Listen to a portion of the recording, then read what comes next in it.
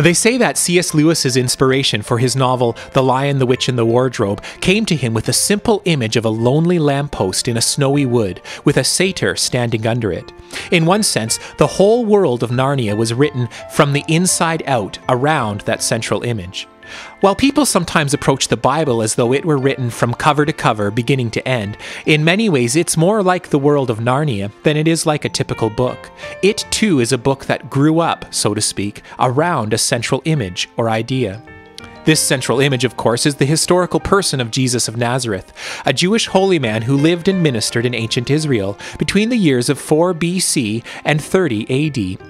He was crucified by the Roman state as a political revolutionary, and his followers believe that the third day after his execution, he rose from the dead, alive and glorified, declared in power to be the Son of God.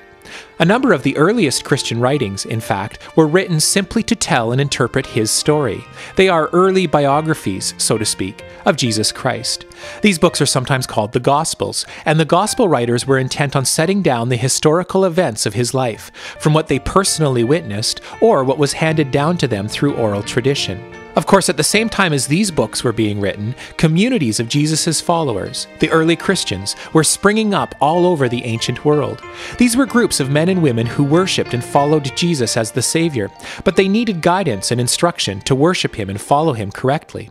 So the apostles, Church leaders who had been specially commissioned by Jesus for this job wrote letters to these churches for specific purposes, to settle church disputes, maybe, to clarify teaching, perhaps, to encourage Christians who were going through persecution, and so on.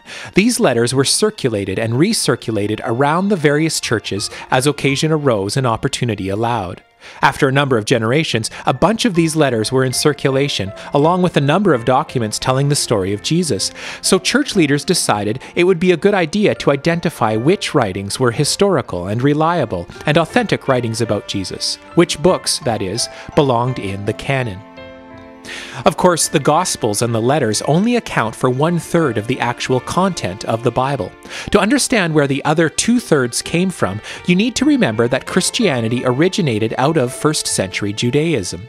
Jesus himself was a Jew, and the Jews in his day had their own set of sacred writings that described the history of God's life with Israel. Christians sometimes call these Hebrew scriptures the Old Testament, and essentially this was the Bible as it existed in Jesus' day. Jesus' message, in fact, was that as the Messiah, he was the fulfillment of the whole entire story of the Hebrew scriptures, the fulfillment of all its prophecies, the meaning of its law, and the answer to all its questions. So, because it's impossible to know who he is without knowing the story that he claimed to fulfill, Christians have always insisted that the Old Testament, the Hebrew Scriptures, are an integral part of God's Word, and that it is not complete without them. This, then, is how we got the Christian Bible. It's a book that literally grew up around the person of Jesus Christ. The writings that promised him beforehand, the writings that interpreted his life story as it happened, and the writings that teach us how to follow him now. Or, as Jesus himself said it in one place, these were written to testify about me.